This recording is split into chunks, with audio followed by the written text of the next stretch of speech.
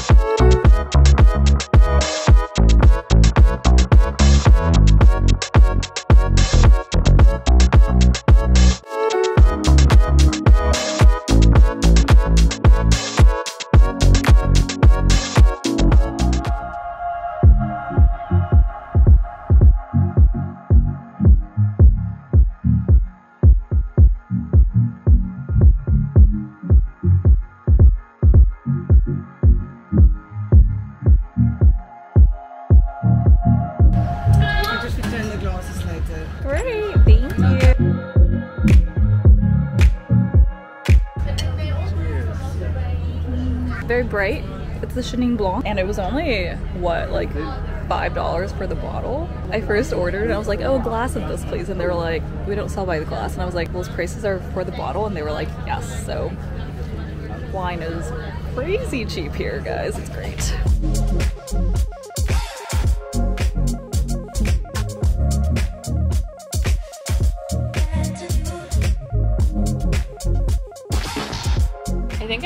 Think I didn't realize that it was the Dutch who came in first and colonized, and then the British came in, and then the Dutch resented the British for coming in and colonizing. I didn't know how much the Dutch were opposed to the British. I thought they were both united. Yeah, I thought they were on the same side too. Mm. The irony of the situation. This is unjust and unchristian to subjugate the indigenous people, but they didn't care. So just a lot of cognitive dissonance. Mhm. Reading the history books and Wikipedia. Hmm. You're appreciating the wine pairing now. Maybe there's a sommelier in you yet. That's the saddest thing I heard. You're like reporting the camera crew disappears.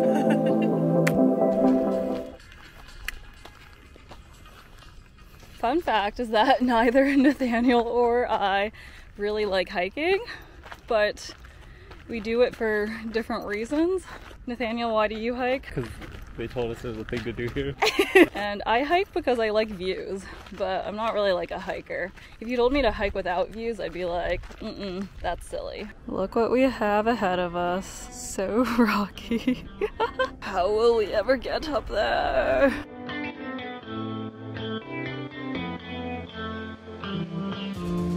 Okay, we have kind of arrived. So now we have to decide whether we want to go up to like the top top. The sign says use ladders, chains, and staples at own risk. Here's the ladder that they were talking about. Time to go up. They were not kidding. There was a recommended route, and me and my infinite hubris, which is a common theme in my life, I decided to try the harder route. But now I'm at the top.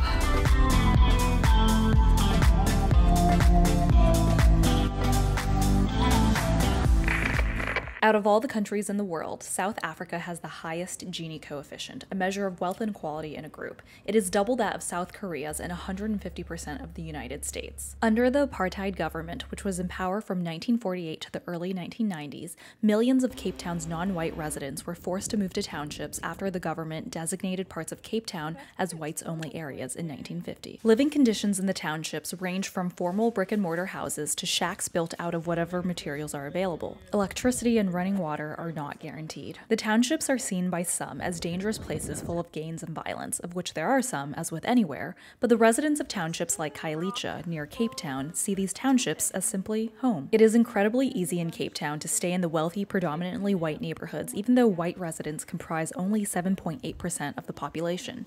80.9% of the population are black, and 8.8% of the population are colored, an official term used in South Africa for those of mixed race ancestry. It is jarring then to go to restaurants or neighborhoods with flipped demographics and witness the de facto segregation in some areas still. South Africa is extraordinarily beautiful, but apartheid casts a long shadow over the glimmering landscapes.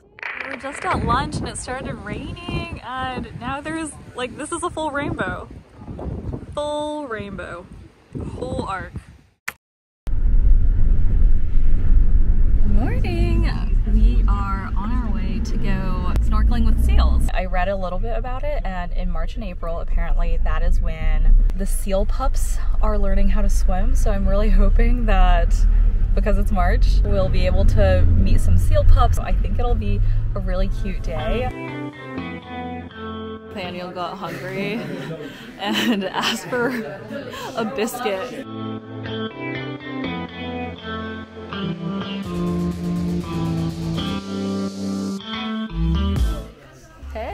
So these are our outfits. Really cute. These are our flippers, which we have to bring on board as well. And please ignore my eye. I have a sty. Sea safari. We're here. Hey, good afternoon, everybody. Hey. Welcome.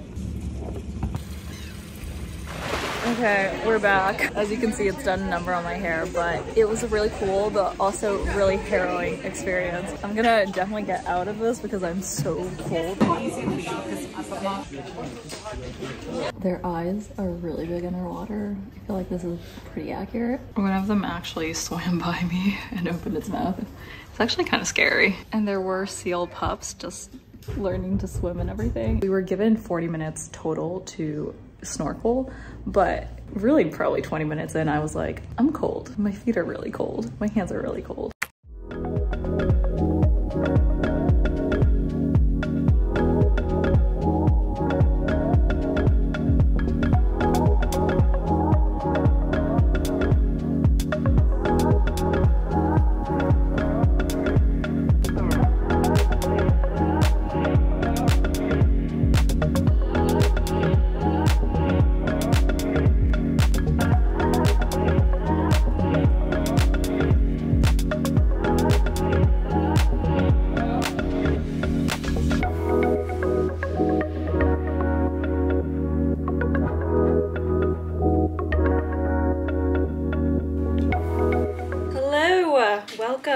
We've gone on safari and we're still going on safari. Mainly because people kept on telling us that safari was the best thing they'd ever done and they wanted to do it more, blah, blah, blah. So we landed at the airport and then immediately went on safari. But upon a friend's recommendation, we have checked in at Inyati Game Lodge, which is in Sabi Sands, which is a private game reserve, which means that it is A, crazy expensive.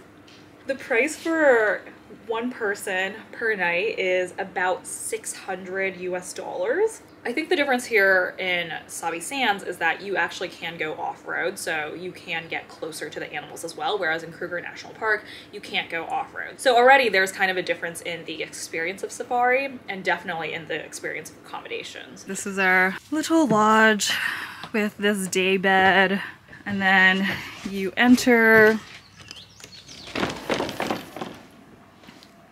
is the bed, which looks super comfy. They put our suitcases here for us.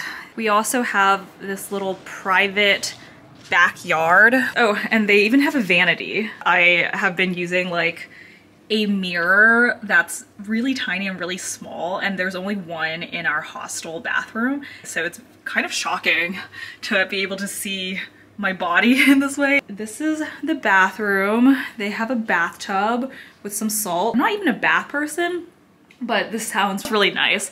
Indoor shower, his and her sink. They also showed us that there is, oh no, I can't do it. I do it now? Oh, there's this outside shower. So if you kind of want this like outside shower with nature experience, you can get it here. Generally, I am always pretty happy that I left Big Law to write this book and kind of just pursue a life that's a bit less on a blueprint path. But in moments like these where I get to see these places, these are the times where I'm like, man, should I go back? Guess we'll see. Okay, let's just go on a tour of the grounds. This is the stairway to the main lodge where we had lunch just now. This is the reception area where you can kind of sit and look out there, look onto kind of that like grassy area. Okay, and here is the pool area. The weird thing about safari is that some of our guides in Cape Town, they said that they couldn't even go on safari because safari is a relatively expensive activity. So it was really interesting to me that for even people who live in the country, going on safari is kind of a luxury. It's not something that everyone can do. For those who live in the city, artists began painting the animals on murals, etc., so that the residents of the city could actually see the animals on safari. The next thing we have is at 3.30 before our 4 p.m. drive. Oh my god, it's so hot. We will be having tea. I kind of changed my outfit, but I don't know. I feel like I'm not like well dressed enough for this place, period.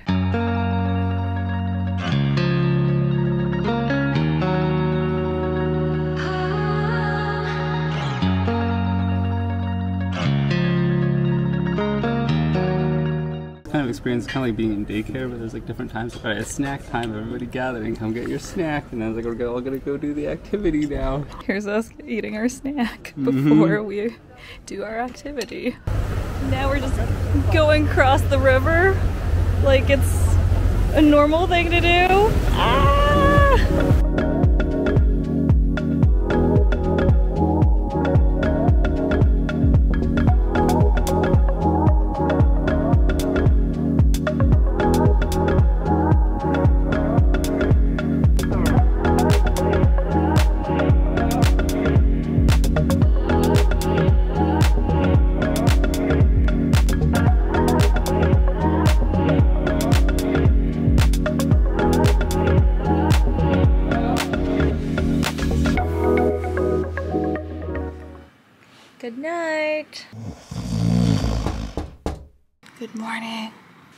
5.08 a.m. and they just knocked on our door telling us it was 5.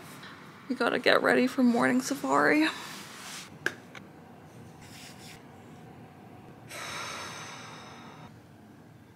How are you feeling, Nate? Definitely tired. uh, excited, but glad we're doing this one time. Yeah, but only one time. Mm.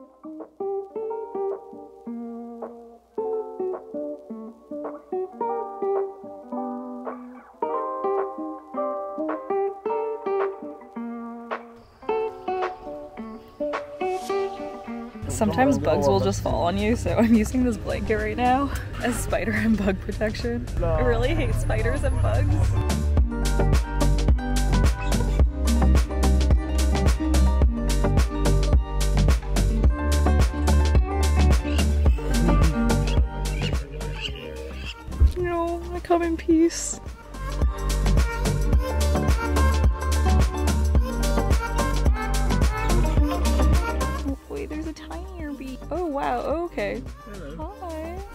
Oh my gosh.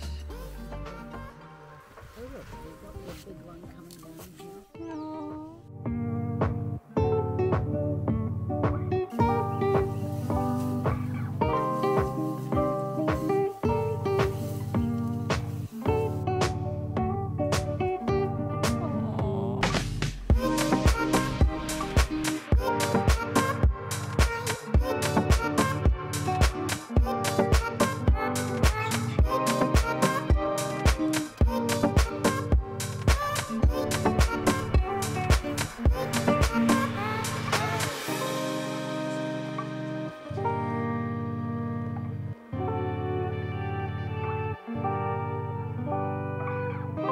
This feta cheese is like the best feta cheese on earth.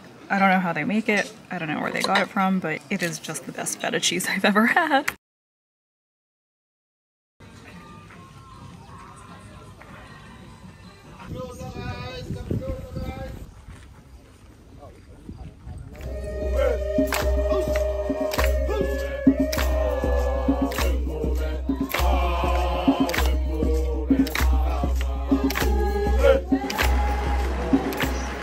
Apartheid Museum right now and I thought this was really cool. They randomly classify tickets as either whites or non-whites and then you have to use different entrances. So to really give us an experience of uh, segregation. Here we are and of course Nathaniel stuck me with the non-whites ticket.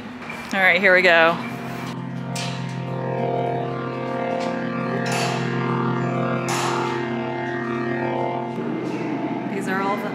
Cards that non-whites had to carry during apartheid.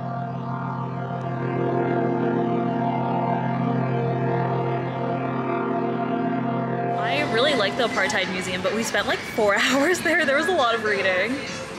Yeah, it was really great though.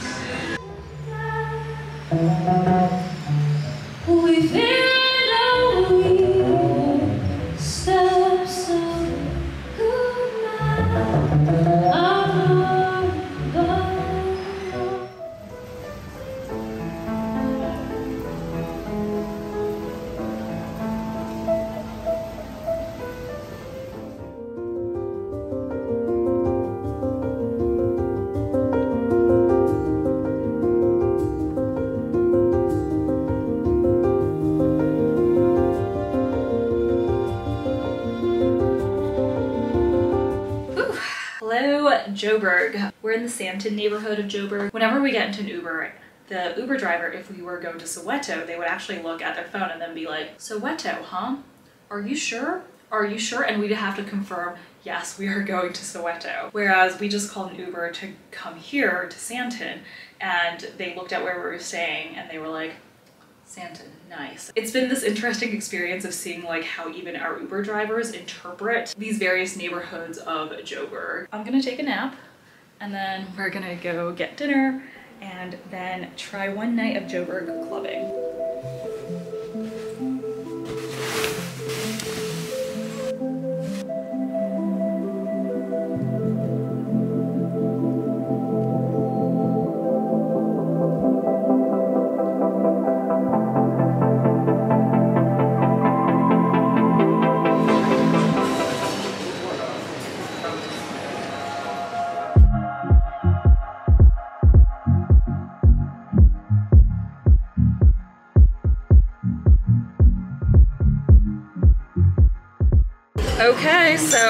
Why was last night so weird? We went to what's supposed to be like one of the hottest clubs in town that's only a Friday night club on a Friday night. There's like this thing in Joburg where clubs are like Friday night clubs or Saturday night clubs. They usually don't open both nights. It was incredibly empty. Everywhere we went over the past several days, it's been just completely empty. There was still some dancing and it was fun to bop around. One of the funny things about the club is it's supposed to be like one of the safest clubs. I don't know exactly what that means, but they also censored the music, so it was like morally safe or something. It wasn't just physically Safe all around. Yeah, safe all around. You'd hear like they're about to say a curse word in a song, and all of a sudden the music like goes to zero, and then turns back up again. Family safe. Mm. So far, like we have not hacked Joburg nightlife, and I guess we won't because we are flying back tonight.